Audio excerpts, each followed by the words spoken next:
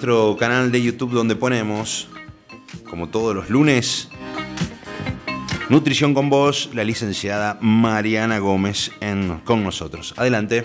Bueno, hoy vamos a hablar un tema eh, bastante complejo, mm. eh, que está, está relacionado obviamente con los alimentos y es la canasta básica de alimentos. Bien. Vamos a hablar sobre la canasta básica de alimentos, sobre las guías alimentarias eh, argentinas, que eh, y vamos a hacer una comparación entre estas dos y vamos a hablar con una colega mía, nutricionista, que está en un equipo de investigación em, que también hace referencia, eh, bueno, ya nos va a explicar bien ella, eh, hace referencia a la canasta básica de alimentos, ¿sí? Como que pone en duda los alimentos de la canasta básica. Bueno, bueno, canasta básica le llamamos... La canasta básica de alimentos es un conjunto de alimentos que se presenta en una determinada cantidad, que es la que se considera que satisface las necesidades de calorías y de proteínas, eh, de lo que se conoce como un hogar promedio. Bueno. vamos a ver bien cuáles son los alimentos que la componen y cómo podemos hacer el cálculo. Bien. Eh, esta canasta básica implica un mínimo de alimentos, por eso se llama básica, es como lo básico de los alimentos que deberíamos consumir. Eso, eso. Y es lo que necesita una persona eh, según lo que, cómo se define la canasta básica, eh, define como a una familia que eh, cubre sus necesidades básicas que está fuera de la línea de pobreza. una aclaración, ¿es canasta básica para Argentina, para el mundo? ¿Cómo es esto? No, canasta básica alimentaria argentina, pues está basada en los alimentos de nuestro país. De nuestro país. De la encuesta de hogares se hizo, en base a la encuesta de hogares se se determinó. Perfecto, perfecto. Eh, no se puede considerar, bueno, como decíamos, una dieta ideal, porque obviamente son alimentos básicos los que cubre y cantidades básicas. Ya vamos a ver también las cantidades porque eh, eh, es, como complejo cubrir con estas cantidades los requerimientos nutricionales. Bien, bueno. Entonces, no se le puede emplear como un modelo a seguir y como, como como base para eh, una educación nutricional o que cubra las necesidades alimentarias de una persona o de una comunidad. Bien. La canasta básica alimentaria se basa en un grupo de alimentos y en determinadas cantidades. Entonces, en base a, estas cantidades y a este grupo de alimentos, se hace un cálculo de lo que cuesta esa canasta. La canasta es por mes, ¿no? Bueno, dale. Por ejemplo, tenemos 6 kilos, 6 kilos 750 de pan, 420 gramos de galletitas de agua, 210 eh, de galletitas dulces, 1 kilo 200 de arroz, 1 kilo de harina de trigo, 210 gramos de, harina de maíz, 1 kilo 740 de fideos, 6 kilos y medio de papas, 500 gramos de batata, 1 kilo 200 de azúcar, bueno, y así en cantidades específicas de cada alimento. Legumbres secas, hortalizas, son 5 kilos 730 de hortalizas, de las cuales está la selga, la cebolla, la lechuga, el tomate, la zanahoria, eh, el tomate envasado. Dentro de las frutas tenemos 5 kilos de fruta, manzana, mandarina, naranja, banana, pera.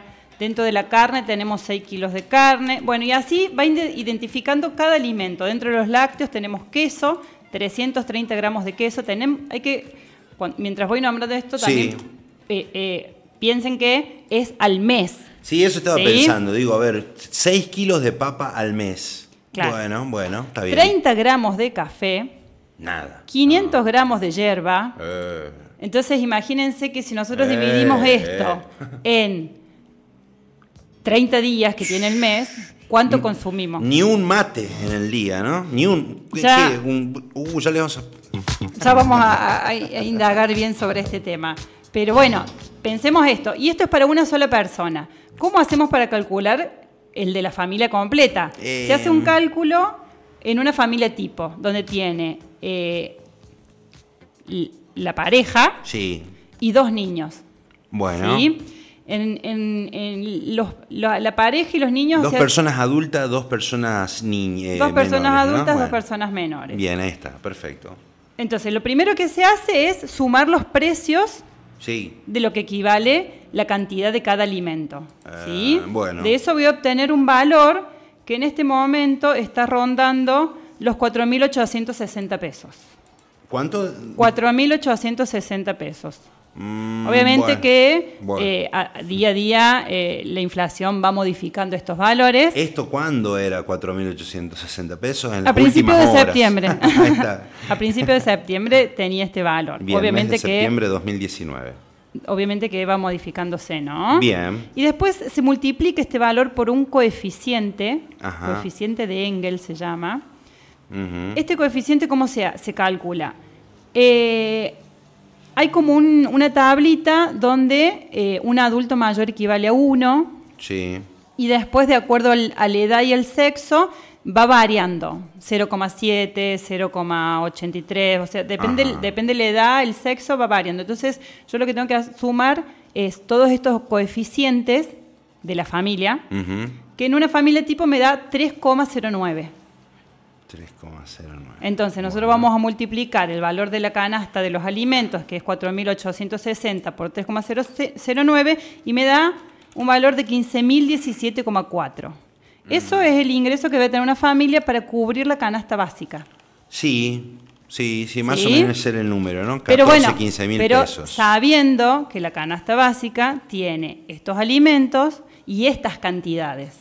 Sabemos que estos alimentos no cubren lo que realmente eh, los requerimientos nutricionales de una persona. Para hacértela más fácil a vos que estás escuchando, es como que no contés la hierba, poner en el mes. ¿eh?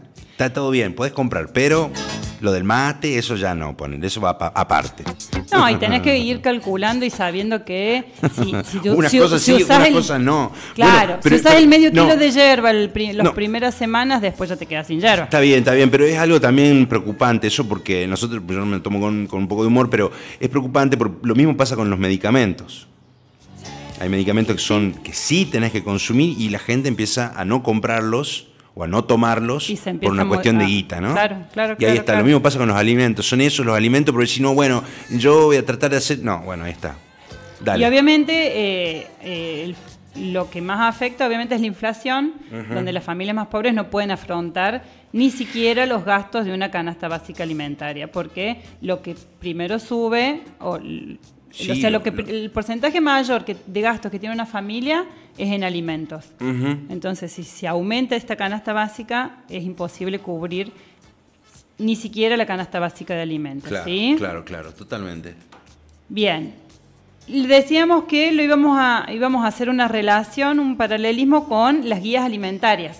Sí. Que son las guías alimentarias para la población argentina. Bueno. Argentina comenzó el proceso de desarrollo de las guías en el año 1996, en el marco de un congreso argentino. Mm. Y bueno, este material de, trabajo fue publicado en el 2000, donde se empezó como a, aplicar estas guías. Estas guías son eh, una serie de, mensajes, son 10 mensajes, eh, y eh, como identificación de, los requerimientos y las necesidades nutricionales de, los grupos, eh, de los grupos eh, poblacionales, obviamente destacando los grupos más vulnerables que tienen requerimientos más aumentados en ciertos nutrientes. Y aparte de, estos 10 mensajes, una lista de alimentos y de cantidades de alimentos que necesitamos para tener, para cubrir estos requerimientos. Vamos a nombrar algunos y vamos a ver ¿Qué diferencia, y obviamente la diferencia que existe con la canasta básica de alimentos, ¿no? Bueno, muy bien. Estamos escuchando Nutrición con Vos en el espacio de Buena Vista Radio, aquí en las mañanas de día lunes. La idea del armado de estas guías es una herramienta para poder eh, implementarla principalmente, eh, bueno, obviamente en la salud, en la educación, en la producción, en la industria, en el comercio, eh, en todas las áreas donde están relacionadas con la alimentación eh, en la parte política, obviamente, para, generar eh, programas o proyectos políticos que puedan implementarse y poder cubrir estos requerimientos o estas necesidades que eh, indica las guías alimentarias. Son como eso, como la misma palabra lo dice, una guía que, permite educar y permite aprender las necesidades. Y tiene muy en cuenta los, los diferentes casos o, los las edades gestacionales, las edades eh, y el sexo como más eh, vulnerable. La edad del crecimiento, la edad gestacional, la lactancia. Eh, bueno, la selección de alimentos por ejemplo, en relación a, lo indica por día. Dice, indica la cantidad de alimento diario. Que, por ejemplo, al día debemos consumir 30 gramos de queso fresco. Eh, bueno. Mientras vamos a hacer una relación con la canasta básica que decía 330 gramos al mes. 30 eh, gramos, uh, bueno, nada. Es muy poquito. Por día. Está bien. Si lo multiplicamos por 30, Sí, Es casi un kilo. Sí, 900, 900 en comparación a 330 que decía la canasta básica. Obviamente las guías alimentarias indican que para tener, cubrir, un, para cubrir los nutrientes en relación a las proteínas, al calcio, lo que aporta principalmente el queso, necesitamos obviamente tres veces más de lo que indica la canasta básica. Entonces, obviamente, la canasta básica no está cubriendo Qué mal, los ¿no? requerimientos. no, la contempla, no lo contemplaran a eso. Claro. Es que en realidad. Eh, o sí, pero. En realidad lo que indica la canasta básica es algo netamente eh, económico. ¿Sí? Ah, claro, está bien. Si nosotros nos basamos en la canasta básica, no vamos a tener una buena alimentación. Si nos basamos en las guías, sí. Pero económicamente no, no podemos cubrir esa, esa guía alimentaria o lo que nos indica la guía. ¿Bien? Imagínense que hay gente que no puede ni siquiera acceder a la canasta básica, ¿no? Bueno. Otra cosa importante que habla la canasta, eh, las guías alimentarias, bueno, esto que decíamos de los mensajes, por ejemplo, incorporar en forma diaria o realizar en forma diaria actividad física por lo menos 30 minutos, realizar las cuatro comidas. Eh, de forma tranquila, eh, en, un entorno tranquilo. Otro de los mensajes dice, por ejemplo, tomar ocho vasos de agua, por más de que no tengamos sed, eh, incorporar estos vasos, o sea, consumir esta cantidad de agua, consumir cinco porciones de frutas y verduras al día, tres, tres frutas y dos porciones de verduras al día, que bueno, obviamente son eh, indicaciones específicas donde eh, con si nosotros nos basamos en estas guías y, cumplimos con, los consejos y con, con, los mensajes de la guía, vamos a poder eh, tener una alimentación saludable. Bien, bien. Bien, ¿qué más eh, podemos decir de esta, de esta columna en la, jornada de hoy, Mariana? Bueno, también habla del consumo de lácteos, del consumo de, grasas. Eh, o sea, especifica bien qué, cuántas veces a la semana, qué tipo de, carne o de grasa se debe consumir. Habla de las legumbres también y de los cereales integrales, mm. eh, de las verduras, bueno, obviamente las verduras crudas, eh, el consumo de aceites que no sean en forma de, fritura, sino que también sean en forma cruda. Habla mucho de las cantidades y de las porciones también. Eh, y, bueno, de las bebidas alcohólicas que hay que evitar consumir, sobre todo en niños, adolescentes y embarazadas. Bien. Entonces, cada mensaje indica nos da una indicación saludable. Y en forma gráfica también, en un principio, porque hubo una modificación. En el 2000, cuando se largó en el 2000, la gráfica era un óvalo alimentario donde indicaba eh, en forma gráfica los grupos alimentarios y visualmente se veía el tamaño de cada grupo indicando la porción que había que consumir, ¿sí? Y que la va a ser el agua. Bueno, la modificación que hubo en el 2014 e, ese óvalo, claro, se hizo redondo, se indicó la, el, consejo de, actividad, de realizar más actividad física, de consumir menos sal. Bueno, hubo algunas modificaciones, el aumento de cantidad de frutas y de verduras.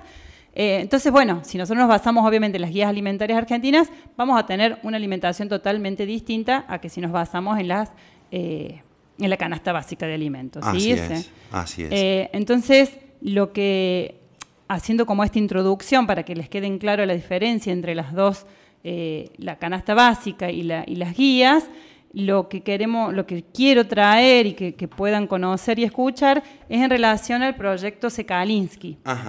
Eh, que bueno, es un proyecto que es un equipo cordobés que busca llevar adelante una investigación científica sobre pobreza, nutrición y políticas públicas propone que la pobreza se mide desde un enfoque multidimensional, ya que el sistema de medición actual quedó obsoleto. O sea, medir la pobreza en base a la canasta básica de alimentos ya no es eh, un indicador de la pobreza, ¿no? Con este experimento buscamos poner en debate nacional la forma de calcular la pobreza en Argentina que rige desde el año 88. Eh, bueno, la idea de... Vamos a hablar ahora con, una colega nutricionista, con Florencia, que eh, es voluntaria del proyecto y que nos va a explicar un poco eh, qué, quieren demostrar con este proyecto y cuáles son, obviamente, los objetivos. Y ella, al ser voluntaria, nos puede contar con su propia experiencia que Bien, ahí está, le damos la bienvenida, la saludamos. Hola Florencia, buen día para vos, desde acá desde los micrófonos de Buena Vista Radio. Hola, ¿cómo están? Buenos días a todos. Bueno, ahí está. Hola Florencia. Eh, bueno, ¿Cómo estás? Bien. Bueno, yo hice una pequeña introducción como para aclarar un poco los conceptos de canasta básica y de las guías alimentarias, que sé que son eh, los temas de, la investigación y que, bueno, nos cuentes un poco eh, cuáles son los objetivos de la investigación y vos como voluntaria, cómo lo estás viviendo en, carne propia, ¿no? Perfecto. Te escucho un poquito lejos. Perdón, te, te, vengo a escuchar, te escucho un poquito lejos. Ahí está, ahí está, ahí está. Ahí lo mejoramos, ahí lo mejoramos, no te preocupes. Perfecto. Eh, bueno, mira, eh, ¿cómo arranco yo como voluntaria? Yo eh, soy docente en la Universidad Nacional de Córdoba, en la Escuela de Nutrición, y una de las voluntarias que estaba interesada en el proyecto, se había contactado con Martín, me cuenta del proyecto y me invita, a lo cual me sentí muy eh, eh o sea, me generó mucha intriga eh, de qué se trataba el proyecto. Nunca nadie en el marco de la ciencia de la nutrición cuestionó la canasta básica de esta manera. Claro. Eh, y en, cuando me empieza a contar dije, bueno, vamos a ver de qué se trata, me junté con, con el equipo. Eh, al principio parece fácil cuando uno lo va, lo, cuenta en palabras, y cuando arrancamos a ponerle el cuerpo empezaron a surgir un montón de cuestionamientos. Eh, el proyecto en sí tiene el, como objetivo, más allá de ver los impactos eh, físicos eh, y emocionales del consumo de la canasta básica en un individuo, para exactamente saber qué sucede al consumir esos alimentos, tiene como objetivo eh, generar un cambio de paradigma en la medición de pobreza.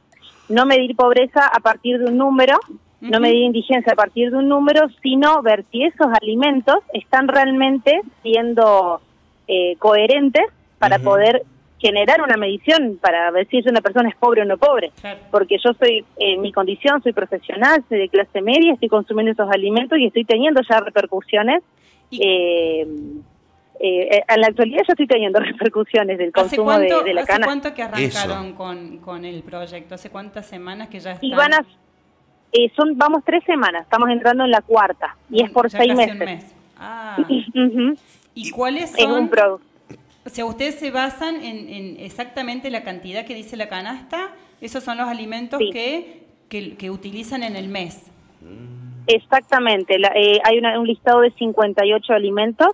Cada alimento está eh, especificada la cantidad en gramos o en mililitros, según el tipo de alimentos que tenemos que para consumir durante el mes. Siempre y cuando manteniéndose dentro de las segundas y terceras marcas. Eso es un detalle que no, pero está ah. especificado que son las segundas y terceras marcas, ¿sí? O sea, claro, eh, también está interviene la calidad porque no es lo mismo eh, un yogur de primera marca que un yogur eh, de uh, segunda o tercera marca a nivel de calidad. Exactamente, siempre aclarar que una cosa es hablar de inocuidad, todos los alimentos que nosotros consumimos están controlados y son inocuos, y otra cosa es son los ingredientes que se utilizan. Eh, entonces, sí, estamos consumiendo, por ejemplo, la carne es de, carne de una gran aporte de grasas saturadas, eh, y por ejemplo, hueso, hueso con carne es un producto que uno apenas lo cocina y no, no tiene más de un 10, 15% de aprovechamiento de carne de ese producto. Claro, ¿Mm? claro, claro. Uy, qué fuerte. La están, digamos, para... Por ahí, eh, vos, eh, Florencia, como profesional, bueno, está siendo este, voluntaria, repetimos, pero la gente por ahí no, no, no, dimensiona tampoco eso, ¿no? Que muchas veces la canasta, estamos, eh, esos alimentos que dice la canasta, muchas veces no, no tienen la calidad, ¿no? De, que deberían de tener, es eso, ¿no? Exacto. Mm. Hay dos grandes factores acá que me juegan a favor por un lado el, el conocer de, la, el conocer de la materia es un gran factor a, favor claro y otro te permite, te permite combinar ciertos alimentos que puedas cubrir requerimientos por ahí de proteínas o de, sí, sobre todo de proteínas. Exacto. Claro. No, e incluso eh, otro, sumado a eso, eh, yo estoy cómoda en un hogar que me permite eh, frizar, cocinar, hervir, fraccionar, y a veces hay muchas personas que no tienen la posibilidad más que una nace con una garrafa, esa garrafa se puede acabar y yo no puedo terminar de cocinar, no puedo frizar, no puedo, tengo que comprar el alimento del día. y eso también genera un aumento en los costos de la alimentación. Exactamente. Eh, no es lo mismo hacer la compra completa a principio de mes y empezar a fraccionar y a, conservar que ir comprando en forma diaria, que obviamente los precios van variando día a día.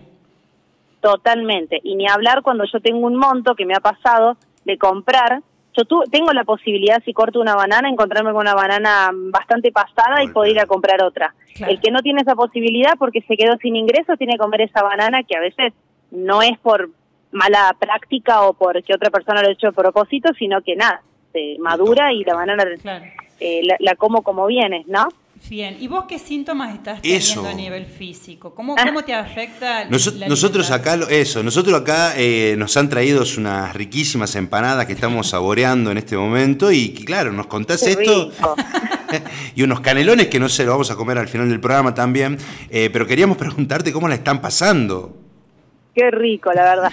Eh, mira, el primer síntoma y el más notorio es el descenso de peso. Uh. es entender a ver, yo siempre aclaro que estoy yo soy una persona que tengo un peso normal, tengo un índice de masa corporal normal, em, pero sí me ha pasado que he cambiado mi patrón alimentario. Yo consumí alimentos que ya ahora no estoy consumiendo más. Que ya los tal vez... ya, como ya se te acabaron.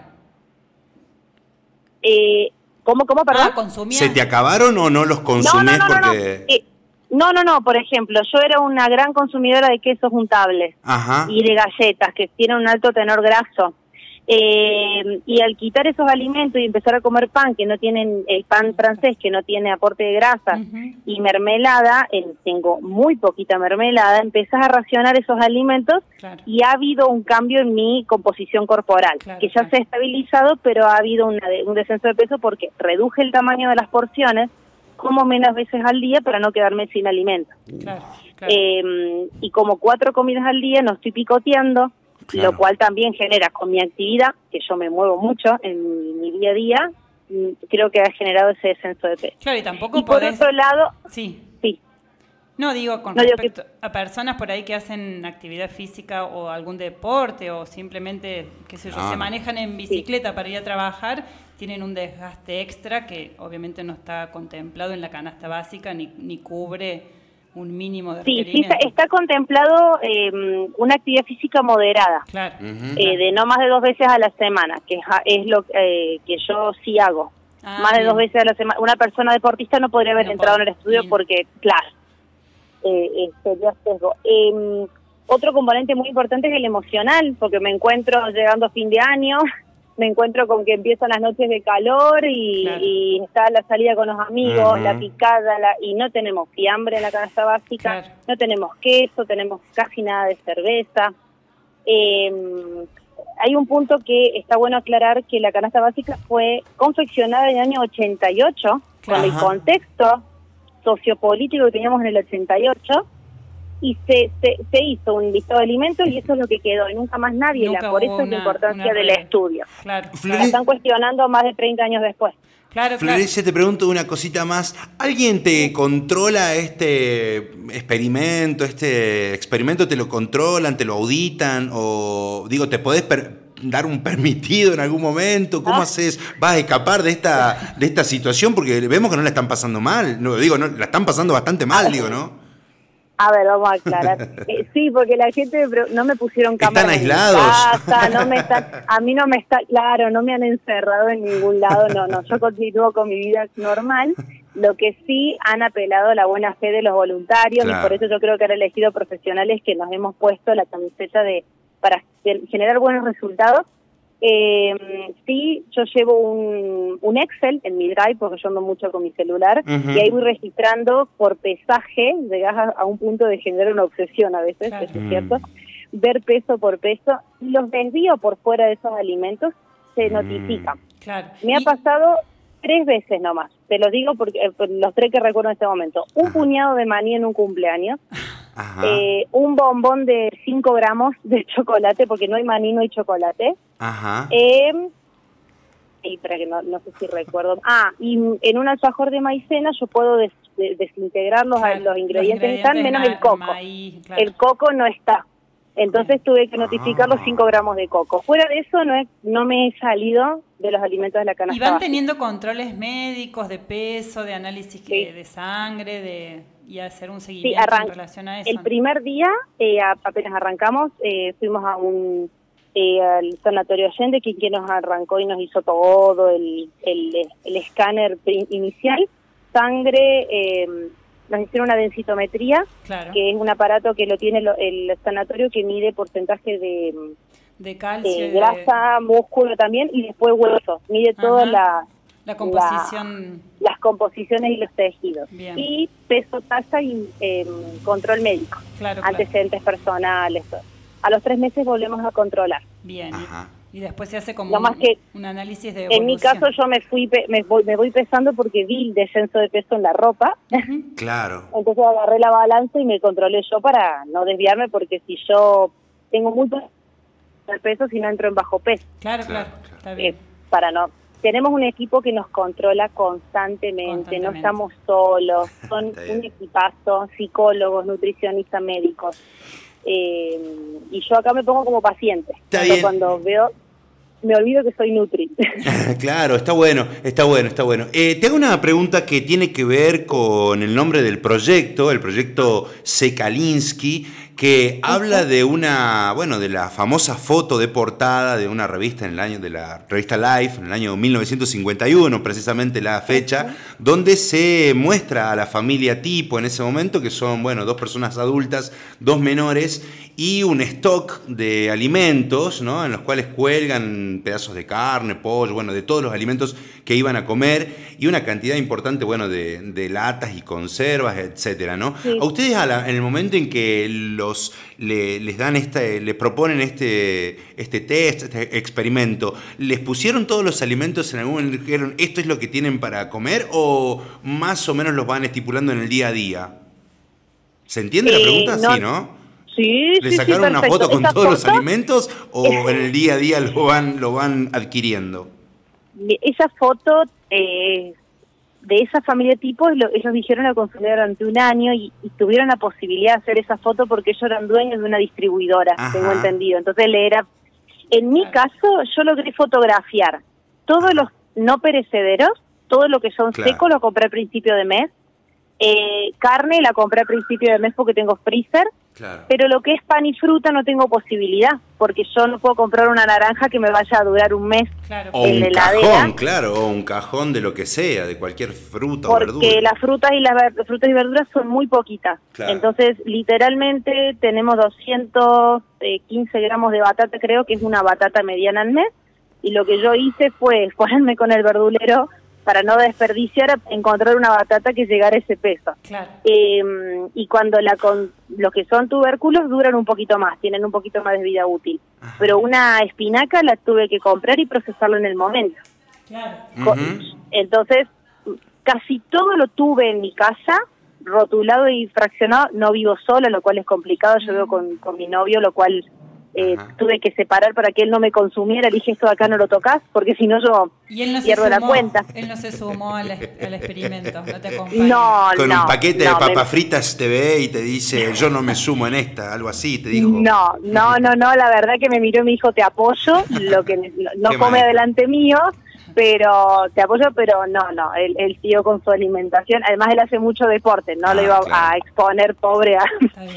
claro, claro. Pero siempre, más allá de, Está bueno también porque a veces eh, se toma un poco con humor eh, estas situaciones y en el fondo duele pensar que hay personas que no tienen la posibilidad de tomarte un permitido. Y duele duele adentro duele en el duele no sé cómo explicarlo te duele el estómago decir ay yo que tengo la posibilidad y no llego y que no tiene la posibilidad, ¿cómo se debe sentir no poder cubrir una necesidad básica como alimentación? Sí, sí, sí. Eh, te hace replantearte todo el tiempo eso. Eh, está bien que cada uno maneja sus ingresos y va comprando, pero a veces entendés cuando decís 20 del 20 del día mes, perdón, el día 20 del mes y te faltan 10 días más para volver a tener un ingreso. Claro, claro. Eh, hay toda una cuestión que el, equipo de, politólogos que trabaja con nosotros, los psicólogos, están trabajando ese otro componente, que es mucho más Sí, tiene un impacto, Eso, ¿no? un impacto muy grande a nivel emocional y psicológico, el, obviamente y, obviamente químico también, porque la falta de, ciertos alimentos a nivel eh, químico tiene un efecto. y totalmente eh, uno empieza a entender muchas cuestiones que el cuerpo se adapta, ¿no? Siempre y cuando tenga algún nutriente va a adaptar, es maravilloso, nuestro organismo es maravilloso, pero siempre va, a compensar con otra cuestión y ya empiezan a aparecer las patologías. Claro. e insisto, no solo físicas, sino emocionales. y te doy el ejemplo que a mí más me marcó, el café y la yerba. Son muy poquitos y cuando me sacaron el café ahí empezamos a decir, mira lo que te digo, el café ante todos los otros nutrientes. Sí, sí, sí. El café es, un alimento importante. Y la hierba, muy cultural nuestro de tomar mate, compartir un mate cuando no, no tenés la cantidad suficiente. Yo el otro día mm. tomaba, tomaba mate con la cantidad que decía ahí eh, y nada. Te permite 15, 15 gramos, de yerba al día nomás. Claro. O sea, un mate, nada, ni siquiera el mate chiquito de acá de la radio. Un mate chiquito que aparte es una vez al día. Si tomaste a la mañana, después de la tarde ya no podés volver a tomar. Exactamente. Florencia, te pregunto una más porque la verdad que es muy interesante el tema. Y con respecto ya a lo que es políticas de Estado, o, bueno, vos decís, hay, hay un equipo ¿no? de, auto, de, de, profesionales que están con ustedes, como psicólogos, y hay también una parte, una, una pata que es la política. ¿Cómo, cómo lo desarrollan a eso? ¿Qué, ¿Qué, qué, se pretende con esto? Si bien va a ser una, una, demostración de que la canasta básica no, se, no está alineada con, con las guías que hay para para la alimentación argentina. ¿Cómo, cómo sigue la, la cuestión política? ¿A qué se apunta luego? Eh, a eso puntualmente eh, estaría bueno de última charlarlo con alguno de los otros chicos que se dedican al área. Te podría decir desde mi opinión eh, y todo lo que los he escuchado hablar a ellos, que si en 30 años nadie lo cuestionó, ha pasado por muchísimos gobiernos de turno de distintas ideologías y nunca ha estado en la agenda pública porque 30 años de democracia es mucho como para, para eh, haberla puesto en la mira y nadie la puso. Entonces, no eh, a veces eh, los 14 millones de pobres en la Argentina puede haber sido bandera de muchos y acción de pocos, y no importa el gobierno de turno que haya estado. Y una necesidad básica no tiene que ver con ideologías políticas. De todas formas, todo el análisis político lo hace maravillosamente el equipo eh, eh, del proyecto y no ahondo mucho más que eso desde, el rol que me compete. No, está bien, queríamos tener también una visión desde, la, como desde el área de la nutrición y desde, la parte de la salud. Desde salud bien sabemos que la agenda de salud incomoda, por eso ciencia que incomoda lo, que el eslogan del, del proyecto. ciencia que incomoda. Incomoda cuando se dan números. Eh, porque en realidad eh, estamos siendo gobernados a partir de políticas de necesidades básicas. Eh, y en realidad la alimentación es básico. Exactamente. es básica en todos niveles, a la, salud, a la emoción. Bueno, desde todos lados. Bueno, Florencia, muchísimas gracias bueno, por tu tiempo, para por contarnos tu, tu experiencia desde, desde, ese lado. Eh, y bueno, te acompañamos. En un momento me preocupé cuando escuché eh, que estabas siendo parte de este experimento también, eso. Eh, decía, ¿qué, ¿cuánto sacrificio? Decía, pobre, ¿dónde estarán? ¿A dónde los tendrán encerrados? No, bueno, eso, ¿no? Que, que está bueno el experimento, la verdad que no, y cuanto más salgamos a la calle, más rico va a ser el resultado, porque en un mundo industrial, industrializado como estamos, con el bombardeo de marketing, eh, que tengamos una feta de jamón en el día de hoy al mes, esté contemplada una feta de jamón al mes, es, vos lo mirás y decís, no hay lógica, hay cosas que no hay lógica. Increíble. Bueno, eh, bueno, muchísimas gracias. los vamos a acompañar, los vamos a seguir, los vamos, vamos a estar en en permanente contacto para ver cómo, cómo siguen ustedes ahí con, con el experimento, con la investigación. Y bueno, los apoyamos totalmente. Así que, bueno, y muchas gracias. por el contacto, muchas Florencia. Gracias por el tiempo. Por cualquier, nos mantenemos en contacto. Dale, Dale está, bueno, ahí está, buenísimo. ¿eh? Gracias. ¿Qué tal? ¿Qué nota, eh? ¿Qué, qué tema? Nosotros aquí, como decíamos, ¿no? Tratamos de tomárnoslo un poco con, humor porque es tan preocupante y tan duro pensar que hay gente que no puede llegar a. Bueno, eso, ¿no? Que hay gente. Sí, pensar que hay gente que ni siquiera llega a la canasta La imagen siguiente de pensar de la gente que no llega a la canasta básica, a mí, en mi cabeza, es la gente que revuelve la basura. ¿No? Y que no tiene otros, qué feo, qué feo, qué feo.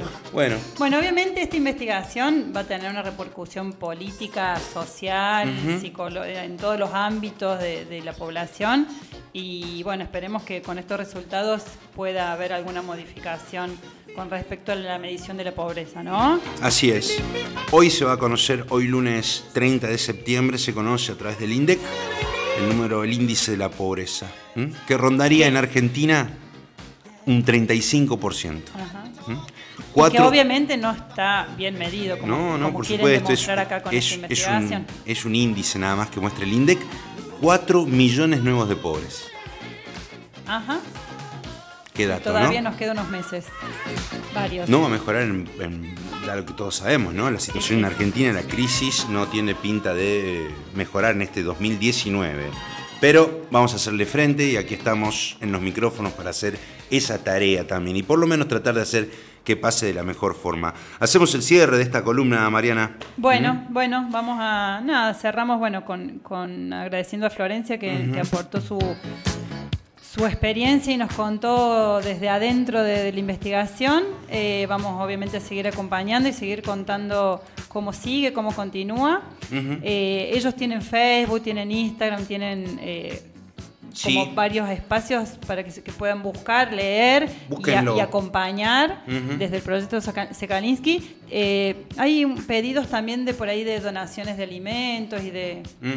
Bueno, si, si, si investigan un poco el proyecto van a poder identificar y ver eso, cómo, cómo poder continuar y cómo poder seguir eh, acompañando este proyecto. Bien, antes de cerrar nuestra columna, vamos a hacer, como lo hacemos habitualmente en este mes de septiembre y en esta semana del 30 de septiembre, el recomendado. La semana, bueno, en la red alimentaria, eh, como habíamos dicho la semana pasada, esta semana tenemos como producto destacado el tomate maduro. Mmm, tomate maduro, ese que ya quedó medio blandito. Claro, que está medio pasadito, que por ahí se consiguen las verdulerías en oferta. Ajá.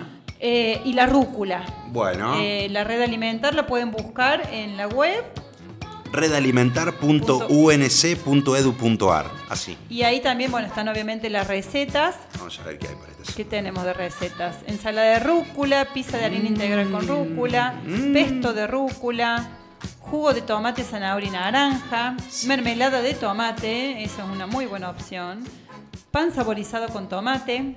Bueno, y ahí tienen todas las, recetas, cómo preparar los, estos alimentos, estos productos.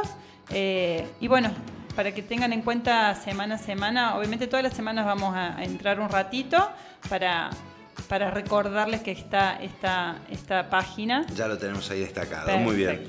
Bueno, eso, comentarles eh, entonces esta información. Cerramos la columna a nuestro canal de YouTube también para presentar, haber presentado a Mariana Gómez con Nutrición.